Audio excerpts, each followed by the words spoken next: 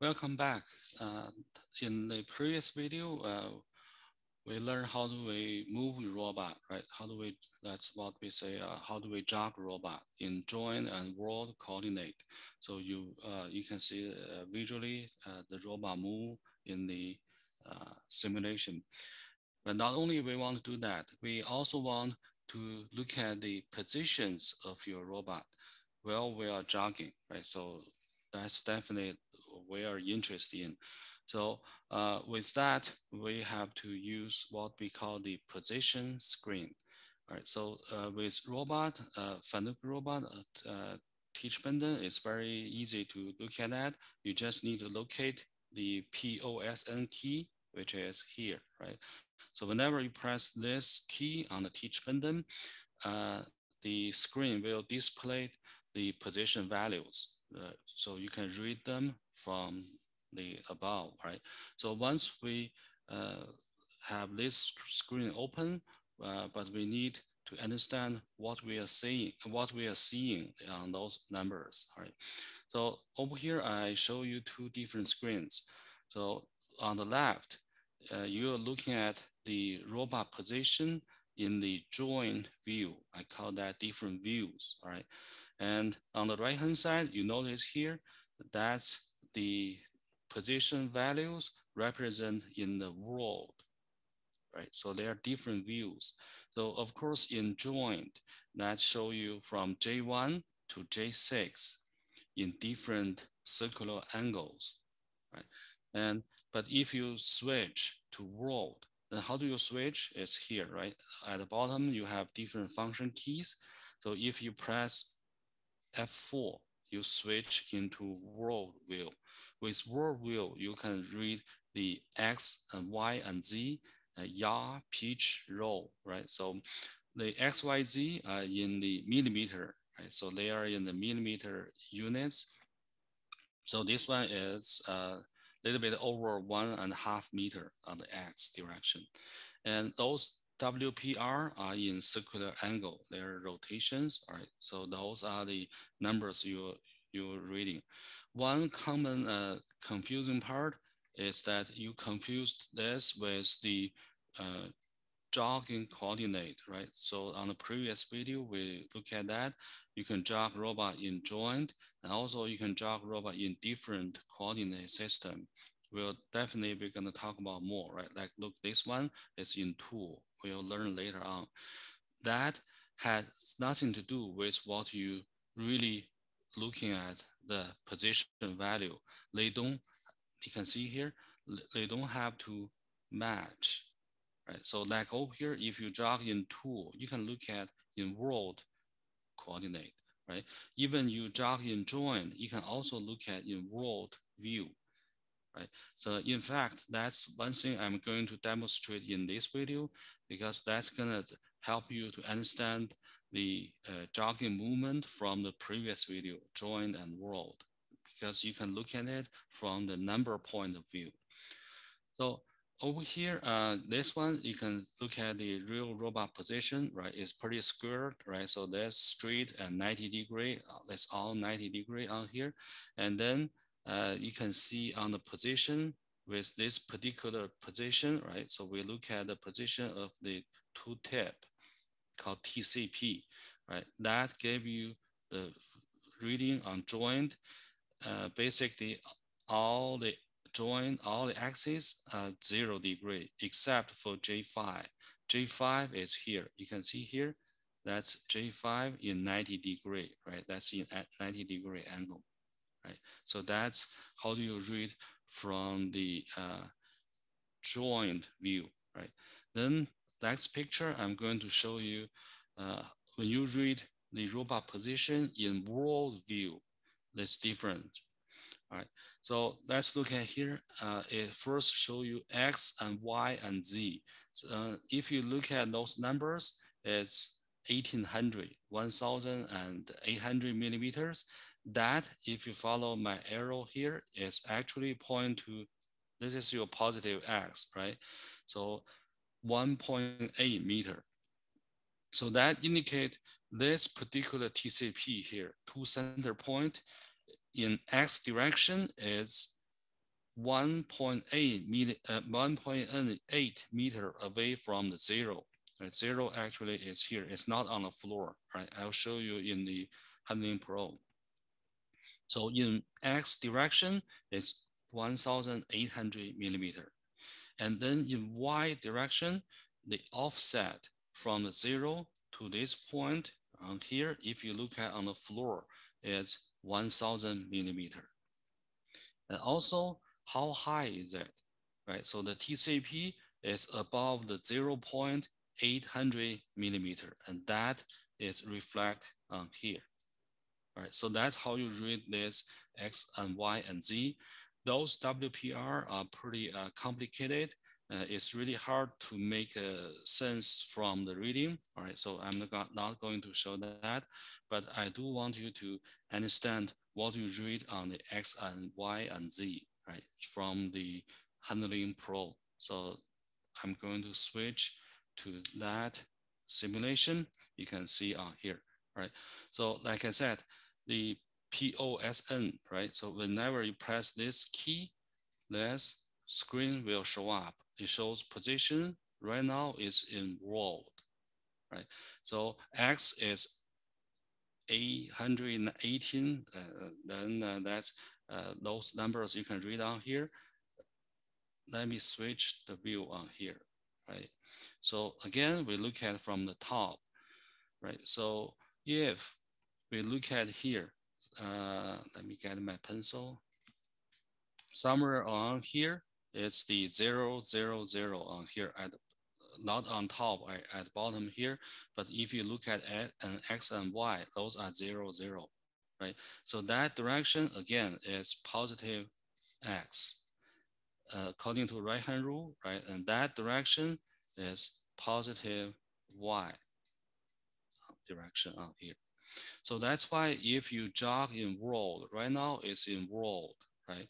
If I jog in world and pick the X uh, first on that, if I jog on the minus X, you will read this reading 818 will uh, going down, become smaller number, but the Y and Z doesn't move, right? You can see here, that's why you can see robot is moving like this way, right?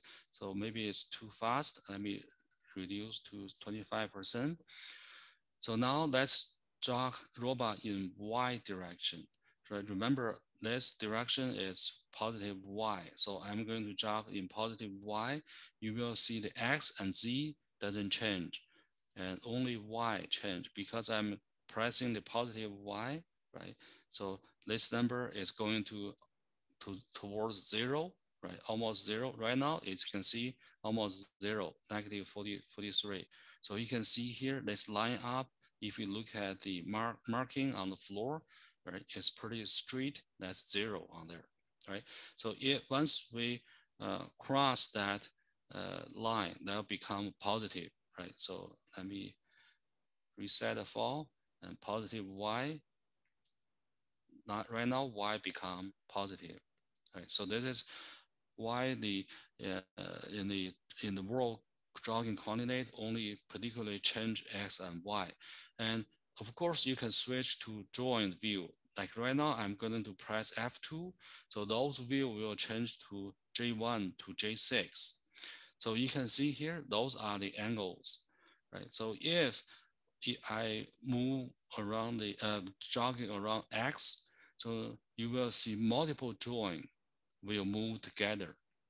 Right? So you can see here multiple joints moving together. So if you look at from diff angle on the robot, you probably you will understand that.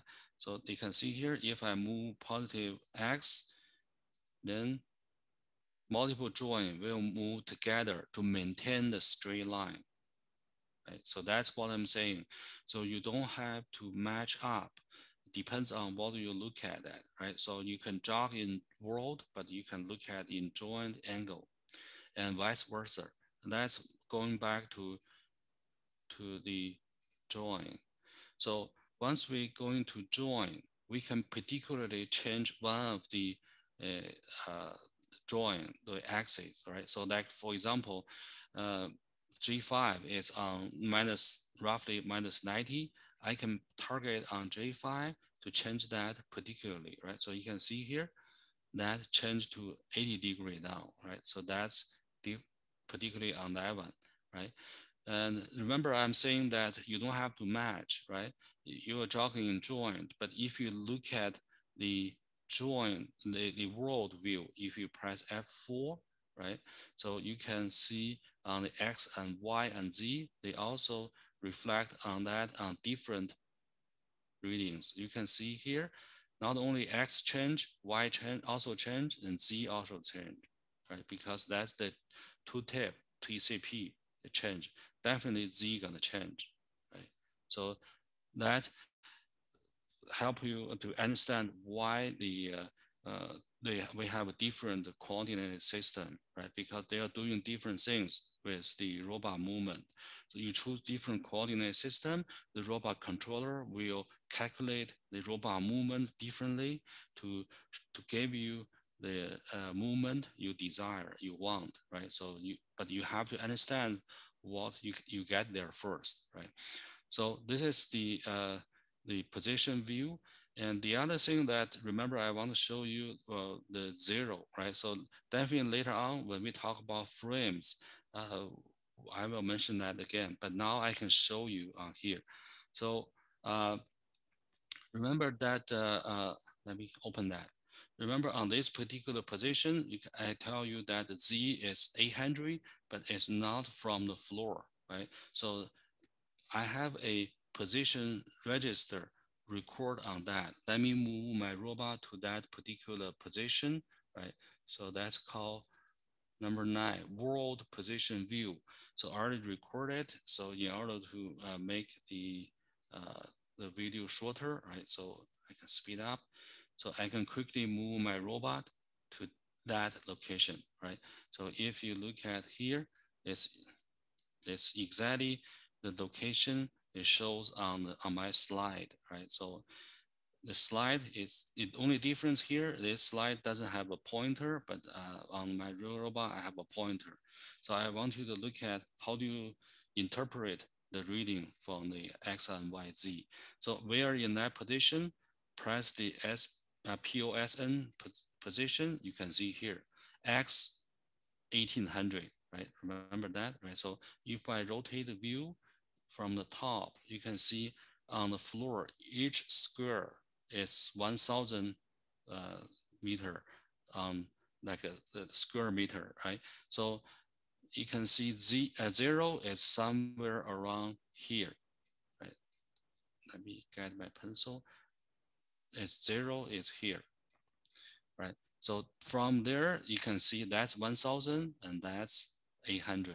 So that's how you read on the this X 1800. And for Y, you have exactly 1000, right? So if I rotate the view, oh, I don't even need to rotate. You can see here, it's right here.